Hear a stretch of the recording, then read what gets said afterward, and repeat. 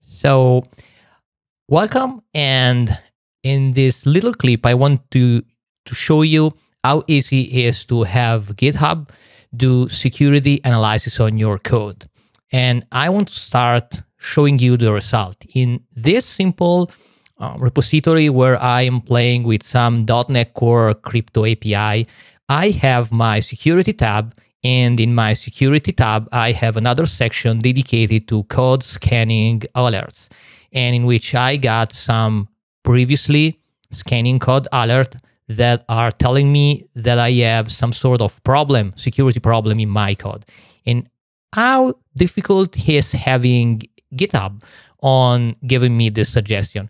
Actually, it is really simple because you can simply create a special workflow called in my situation CodeQL analysis and it's auto generated by a wizard.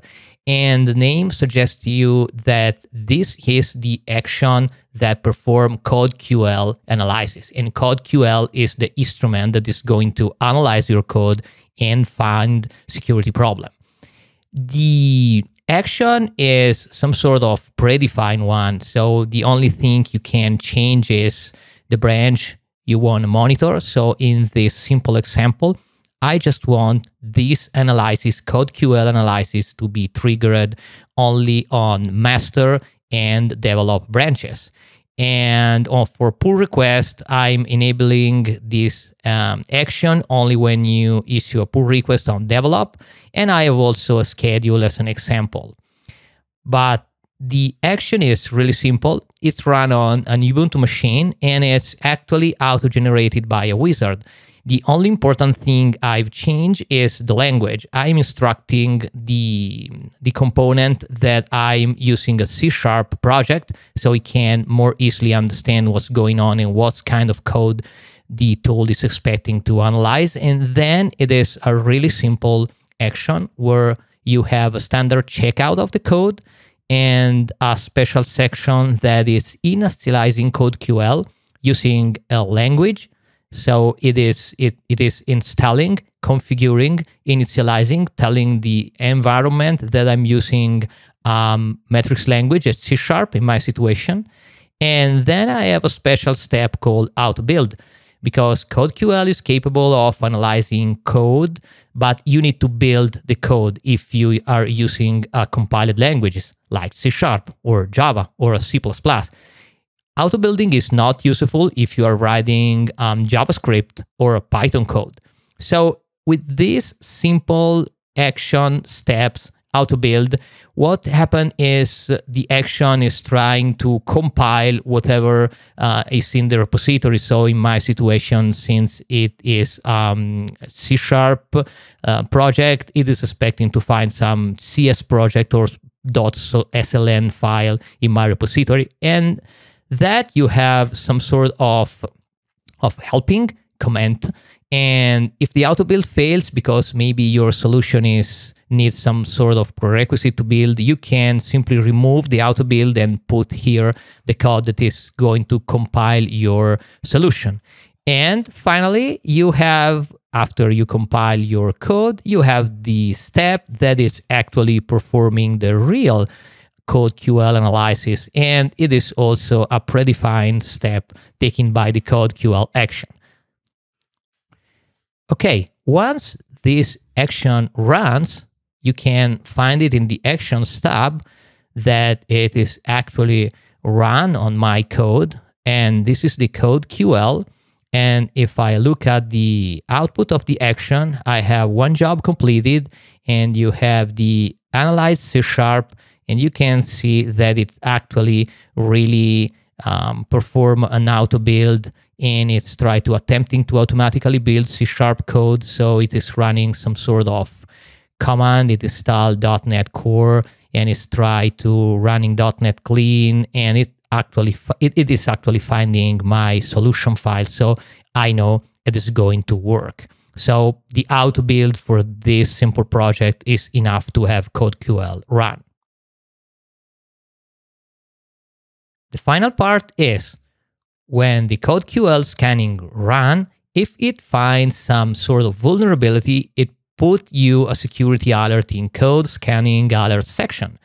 As an example, I have an encryption using ECB. So the CodeQL analysis find that in a piece of my code, I'm using the electronic codebook encryption mode. And we know that this is vulnerable.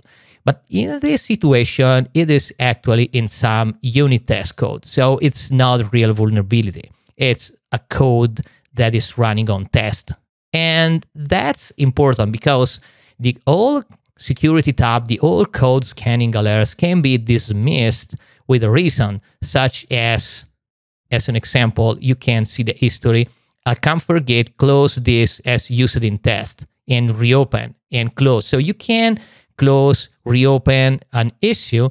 And when you close, you can give a reason, such as used in test. So I know that this is a vulnerability, but it's used in unit test. It's unit test code. So I can assure you that it's not a real vulnerability.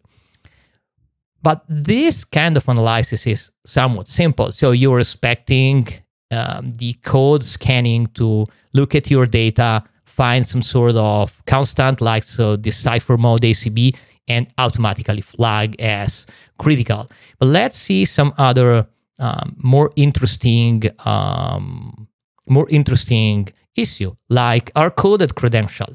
So in this alert, the system is telling me, hey, I found some more coded credential, but how it can find this piece of code and telling me that this is indeed an hard-coded password.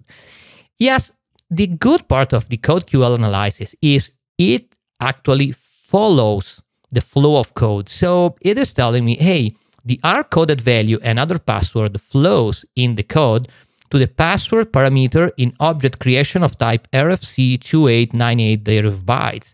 So yes, it's interesting. If I click here, it tells it tells me, okay, you are in this piece of code. It's a unit test. You are passing this kind of hard-coded string in a function, and then this hard-coded string flows between function call, method call, function call, method call, and until it ends in this kind of file, in this file, encryption utils, and it is used for in a constructor with this specific class, with a constructor of this specific class. And so the CodeQL really knows that this is going to be used as a password. So it's a vulnerability because it's an hard-coded password.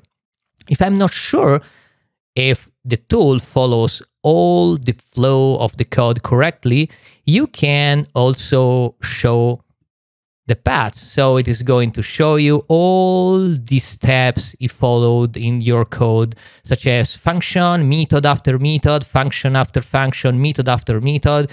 You hand after a lot of calls to this kind of final file, final encryption utils file where he found the use as a password. So it is a little bit more complex analysis than simply looking at the code, but it is, it is following the code, it is following all the path of your code, trying to understand if there is some path with problems. And when it, when it finds a part of the problem, it gives you the alert. And as the previous alert, I dismissed this alert as used in test.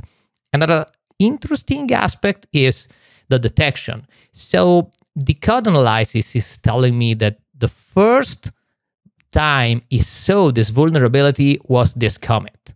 And so you can really understand the who and when this vulnerability was introduced. And then it is telling you that it's going to flow in various branch. So it is appearing this commit and then it appeared in a branch called develop and then it appeared in the branch master. So we can look at the flow of this vulnerability between maybe the feature where it was introduced when it was closed and merged into develop and when finally it is confluent it, it, it, it, it went on master. So it is really useful because you can really flow the lifetime, the life cycle of this vulnerability in your code. And you should, in a situation like this, you should put some sort of um, good practice like uh, pull request in place to avoid vulnerability to flow from the feature to the develop and the master branch.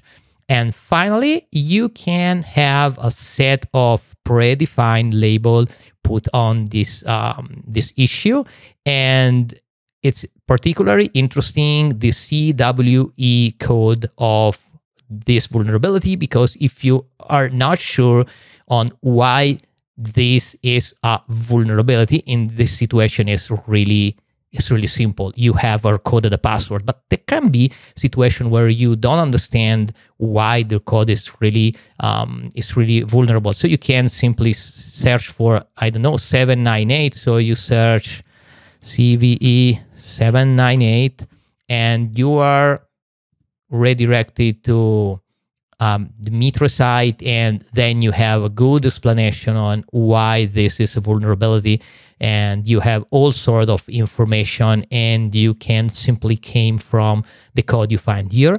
And clicking on a label will filter all the the scanning alerts based on this kind of label. So in this situation, you can find that you have five in, related to the CWE321. So you can even try to understand how much common is a particular vulnerability in your code. And maybe if you find that there are certain area of your code that are more suggest it, it's more affected by a specific vulnerability, you probably need to modify your process and to make um, probably mandatory training to your developers for avoiding this kind of vulnerability to flow into production code.